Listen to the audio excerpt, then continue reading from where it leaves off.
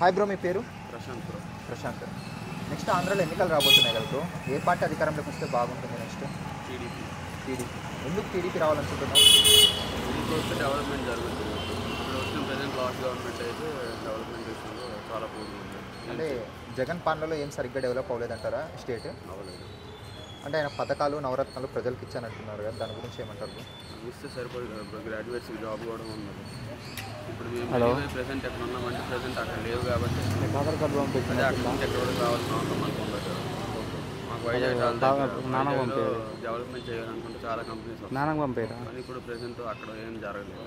ఆ, చంద్రబాబు నాయుడు వైజాగ్కి తెచ్చిండే? అది కూడా ఇప్పుడు లేదు. హైదరాబాద్కి వచ్చేసింది. దానికి ఏమంటారు? ఏమంటారు ఒక రీజన్తో మార్చేశారు ట్రాఫిక్ ప్రాబ్లం అని చెప్పి. హైదరాబాద్తో కంపేర్ చేసి ఎక్కువ ట్రాఫిక్ కాదు అక్కడైతే. అందరికీ తెలిసిన విషయం.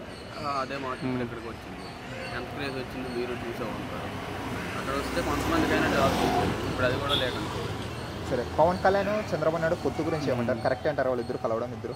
కరెక్టే అంటారు ఎందుకంటే మరి ప్రజెంట్ గవర్నమెంట్ని పెంచడానికి వాళ్ళిద్దరు కలిసి. అది తప్పులేదు సో ఇప్పుడు చంద్రబాబు నాయుడు జైలుకి వెళ్ళి బయటకు వచ్చారు కదా దానివల్ల సానుభూతి ఓట్లు పడే అవకాశం ఉందంటారా? లేకపోతే చంద్రబాబు నాయుడు వస్తే డెవలప్మెంట్ జరుగుతుందని ఓట్లు పడే అవకాశం ఉందా? అనుభూతి అంటే ఆయన తప్పు చేసిన ప్రూవ్ చేసి ఆయన అదేది లాజిక్తో ముందుకెళ్తే సానుభూతి ఇట్లు కానీ కోర్టే చెప్పేసింది కదా డైరెక్ట్గా బెయిల్ ఇచ్చి ప్రూఫ్స్ ఏం లేవు అని. దీనివల్ల సానుభూతి ఓట్లు పడదు ఆయన తప్పు చేయలేదని తెలిసింది కాబట్టి అందరూ నార్మల్గా ఓటేస్తారు కానీ సానుభూతి ఓట్లు అయితే రావాలి అంటే ప్రజెంట్ స్టేట్ అప్పుల్లో ఎక్కువ ఉంది ఆంధ్ర అనేది. ఇప్పుడు చంద్రబాబు నాయుడు కానీ అధికారంలోకి వచ్చాడు అనుకోండి ఆ రోడ్లు అయితే ఏవైతే ఉన్నాయో పోలవరం కానీ అమరావతి డెవలప్మెంట్ కానీ ఇవన్నీ జరుగుతాయంటారా? స్టార్ట్ చేసింది ఆయన కదా.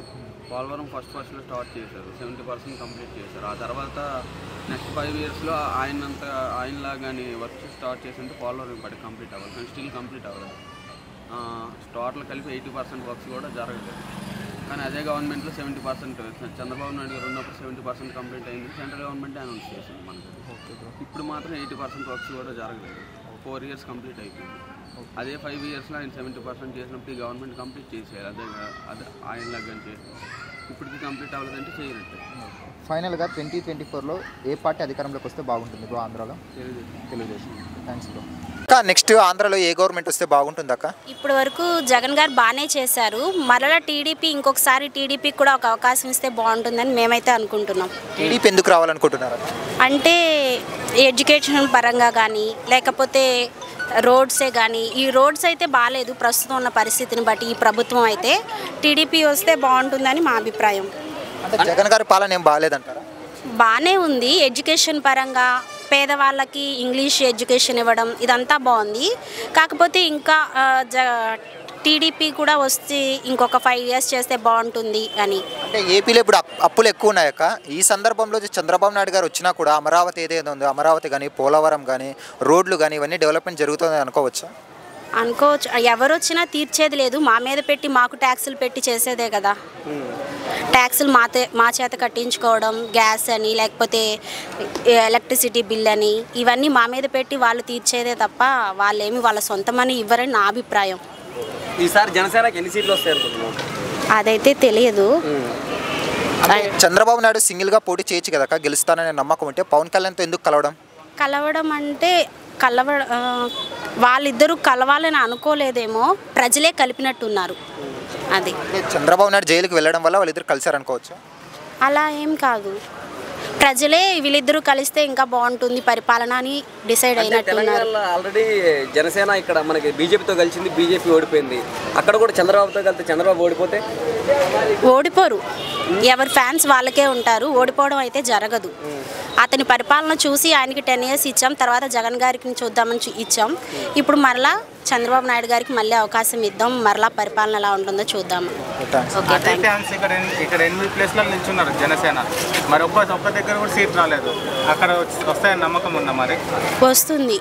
ఆయన ఇచ్చే అమలు అమలు ప్లస్ ఆయన ఇచ్చే హామీలను బట్టి ఉంటుంది. వస్తుందని అనుకుంటున్నాం. ఈసారి జగన్ చంద్రబాబు నాయుడు కాదు పవన్ కళ్యాణ్ గారికి. పవన్ కళ్యాణ్ గారు సీఎం కావాలనుకుంటున్నారా మీరు? చంద్రబాబు గారు వస్తేనే బాగుంటుంది. చంద్రబాబు కానీ వస్తే అమరావతి కానీ చుట్టుపక్కల ఉన్న ఏరియాలు డెవలప్ ఖచ్చితంగా. మరి వీళ్ళిద్దరు పొత్తులో వస్తే ఎవరు సీఎం అవుతారు పొత్తులో వచ్చినా కూడా అయ్యేది చంద్రబాబు గారే.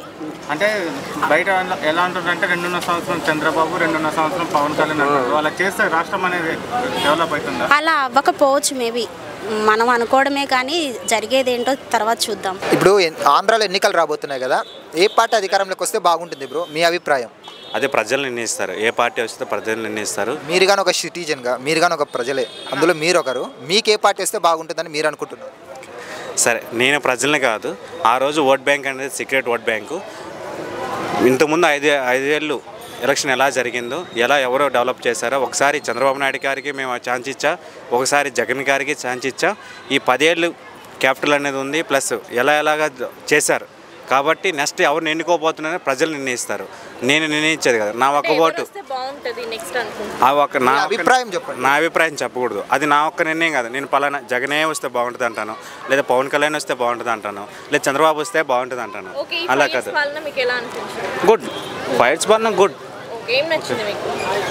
ఆ యొక్క ఆయన పెట్టినటువంటి పథకాలు పేదలకి పక్క అందాయి. పేదలకైతే అందాయి. అలాగే డెవలప్ పెద్ద బిజినెస్ మ్యాన్కి వచ్చాయి పేదలకు వచ్చాయి. అన్నీ సమానంగానే ఉంది. అంటే ఓన్లీ వైసీపీ వాళ్ళకే ఇస్తున్నారు మిగతా వాళ్ళకి ఇవ్వట్లే పథకాలు అంటున్నారు లేదు లేదండి. అందరికి సమానంగా అందాయి. అందరికి ఆల్మోస్ట్ ఏపీ పీపుల్ అనేది కాకుండా టీడీపీ ఓటేసిన వాళ్ళకి అందాయి జగన్కి ఓటే జగ వైసీపీ ప్రభుత్వం ఓటేసిన అందే బీజేపీకి వేసిన వాళ్ళు అందే కాంగ్రెస్కి వేసిన వాళ్ళు అందరినీ ఆల్ పీపుల్కి అందరికి అందే జనసేన అలా ఎవరు అనవసరం పథకాలని మనం అనుకుంటాం కానీ మేనిఫెస్టోలో ఏ పథకం ఉంటుందో ఆ పథకం? అనవసరం పథకాలు మేనిఫెస్టోలో ఎవరు పెట్టరు. ఇప్పుడు టీడీపీ పెట్టదు వైసీపీ పెట్టదు జనసేన పెట్టదు బీజేపీ పెట్టదు కాంగ్రెస్ పెట్టదు. ఎవరైనా సమానంగానే పెడతారు.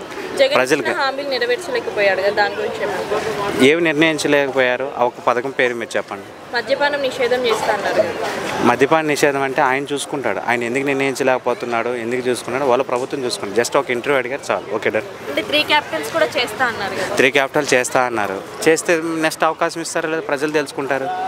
అవకాశం ఇస్తారా లేదా ప్రజలు తెలుసుకుంటారు.